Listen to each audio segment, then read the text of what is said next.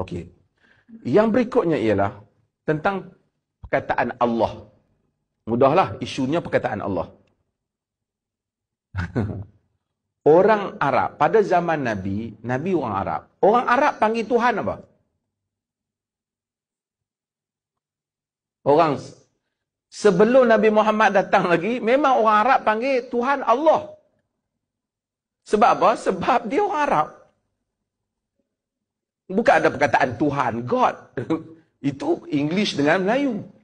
So tak pernah ada Nabi Muhammad kata setelah dia menjadi pemerintah, orang bukan Islam tak boleh sebut Allah. Dia tak pernah kata.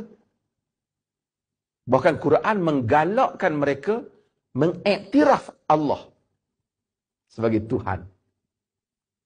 Jadi yang tu, saudara dengar tu, dia adalah pendapat sebahagian orang di Malaysia ni. Yang mana pendapat ni mungkin ada macam-macam isu dah. Kalau nak kata tu pendapat agama pun tak betul juga sebab apa di Sabah dan Sarawak boleh. Di Sabah dan Sarawak, pemerintah yang sama benar kan? So, maka benda ni bukan agama. Yang ni lebih kepada politik. Kebelakangan inilah macam saudara kata, dulu tak bunyi pun. Dulu harmoni je. Ini kebelakangan ini. Jadi kalau cumanya kalau orang ambil perkataan Allah itu, letak di tempat yang tak elok, ah, itu boleh provokasi. Kalau buat begitu, tak boleh lah. Tapi kalau dia sebut Allah itu pada tempat yang betul, merujuk kepada Tuhan, So kita terima lah betul lah disebut nama Tuhan Allah. Kan? Dalam agama Sikh ada kita ada kuil Sikh sini kan. Dia memang sebut Allah.